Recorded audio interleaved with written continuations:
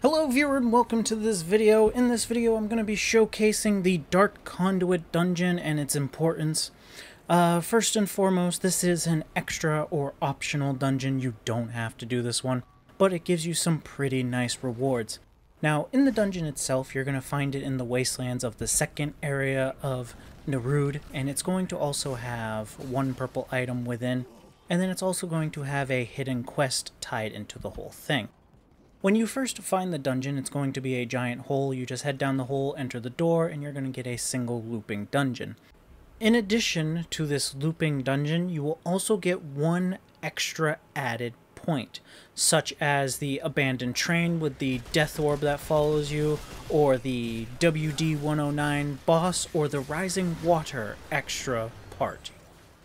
The dungeon will loop around and end at a conduit that you will push in the battery, which will then unlock the crystal heart.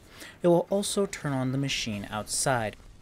The machine outside is a collection machine. It's going to go out and collect all the beeping boxes that are hidden throughout the wastelands. You just have to find all five of them to unlock the three items at the very end, which will be the galvanized resupply band, the deference engine amulet, and the star shot handgun and you'll also get a quest completed for a little extra scrap. A couple tips for you as you're trying to hunt down those boxes. Try to head for areas that are still in that red color of unexplored territory. And also try to look for their little glowing light, and sometimes they may be up high on pedestals. Just make sure you're checking on top of those as well. Thank you so much if you were one of the people who saw my previous version of the Dark Conduit video. I have since remade it as you've seen. And thank you so much for watching this video.